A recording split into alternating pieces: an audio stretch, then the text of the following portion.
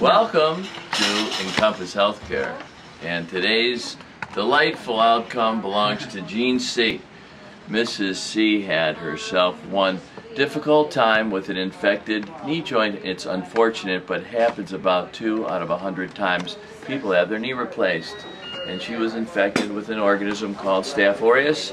And initially we used antibiotics and surgical debridement.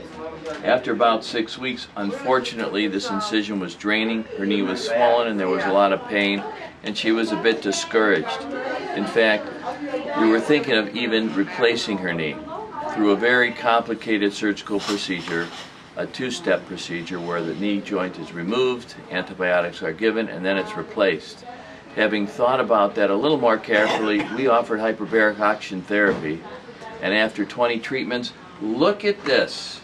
It's as good and fresh and as though she had one surgery and never a complication.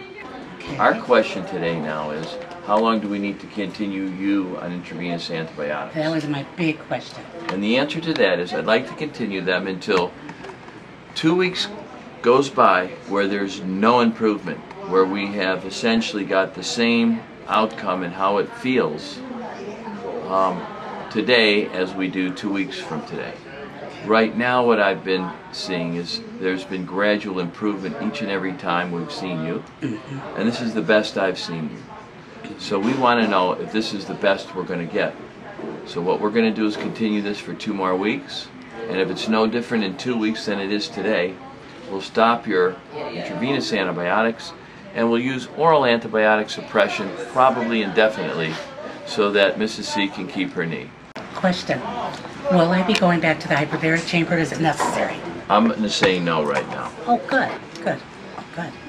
So if after two weeks there's no difference, then I'm stopping your IVs, I'm putting you on pills, and we're calling it a day. Great. Now, difference meaning better, worse? What? Either way, Either way. If it's better, we continue. Really? Because we want to continue to get complete suppression of bacteria until there's nothing there other than what your body can control with pills. Well, now will that the numbers show that? No, No. this is all you. Oh, okay. There's nothing that that uh, a lab or a non-invasive study like a CAT scan Mm-hmm. or a uh, MRI can help us with here. It's all clinical. It's what you tell me. Okay, great. So if you tell me between now and next week, it's really nothing I can say is different. I mean, it changed a little each day this way and that way, but all in all, if we blinked our eyes and we were back two weeks, it would be pretty much the same story. So, in any case, I think you're doing beautifully.